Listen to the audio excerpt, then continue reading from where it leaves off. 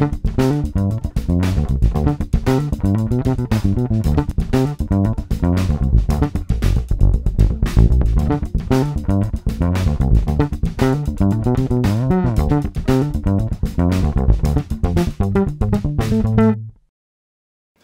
aí, eu sou o Gui Barreto e hoje eu preparei um groove cheio de Ghost Notes para você aprender a usar essa técnica nas suas linhas de baixo.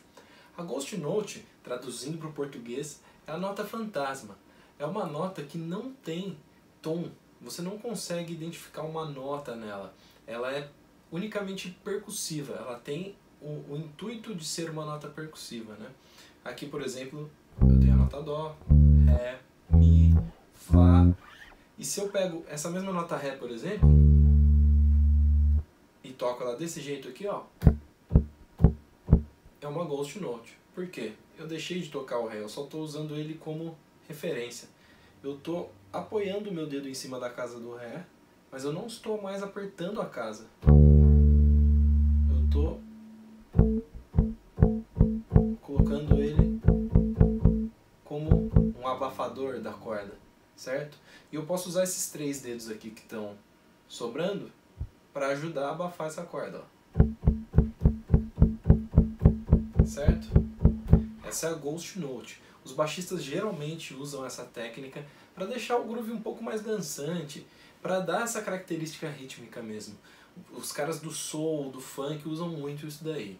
Por exemplo, se eu pegar um groove simples desse jeito e tocar ele sem Ghost Note, e depois com Ghost Note você vai perceber a diferença.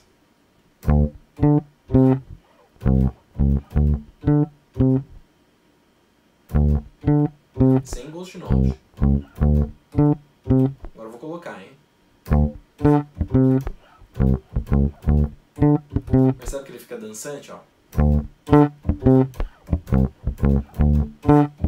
Posso colocar mais. Sacou? Ele dá uma característica mais groove mesmo, mais soul. E para você que nunca usou essa técnica, eu vou passar um exercício bem simples. Você liga o metrônomo e toca quatro notas por tempo, tá? Aqui, por exemplo, eu poderia tocar sem ghost note dessa forma, quatro notas por tempo. 1, 2, 3, 4, 1, 2, 3, 4, 1, 2, 3, 4, 1, 2, 3, 4. Tô tocando quatro notas por tempo. Em vez de eu tocar essas quatro notas por tempo, eu vou pegar as, as duas últimas notas das, das quatro notas, das quatro semicolcheias, e vou tocar como ghost. Então vai ser duas notas rés e duas ghost notes.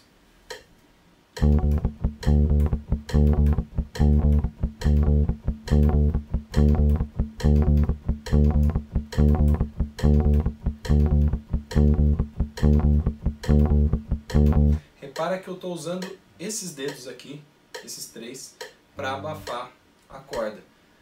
Eu toco Ré duas vezes e depois eu coloco esses três dedos aqui para abafar e eu também levanto o Ré da corda. Eu tento não deixar ele apertado, senão sai o som da nota.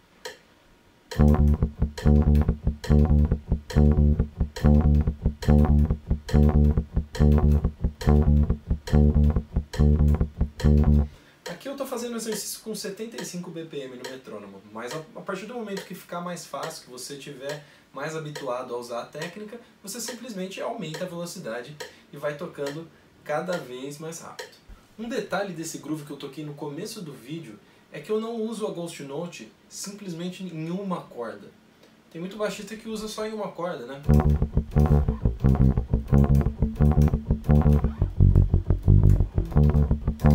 Tudo bem, não tem problema nenhum. Eu particularmente gosto de usar mais de uma. Por quê? Eu tento comparar esse lance das cordas com a bateria. Por exemplo, na bateria você tem vários tambores e cada um tem um timbre diferente. Você tocar em um tom ou tocar no outro tom vai fazer a diferença. Aqui é a mesma coisa, porque essa corda é mais fina que essa, do que essa e do que essa, todas são diferentes. Então, para mim é diferente eu fazer isso, ó, do que isso daqui, ó.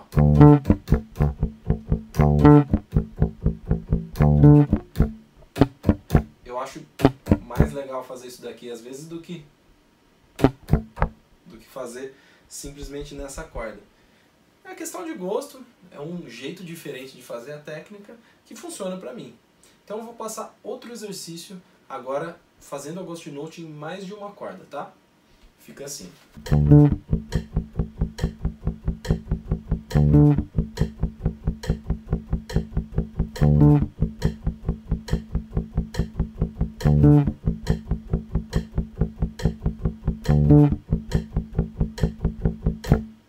Tranquilo? Agora que você já conhece a técnica das Ghost Notes, eu vou passar o groove que eu toquei no começo do vídeo a 80 BPM para você conseguir tirar ele nota por nota.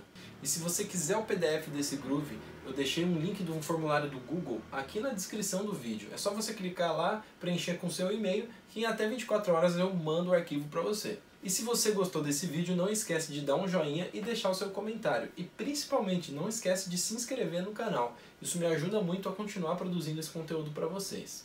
E para quem quiser ter aulas de baixo comigo, é só entrar no meu Instagram, arroba gui, underline, underline, barreto. Me deixa um direct message lá e a gente conversa e marca essas aulas, beleza? Um abraço e até o próximo Groove.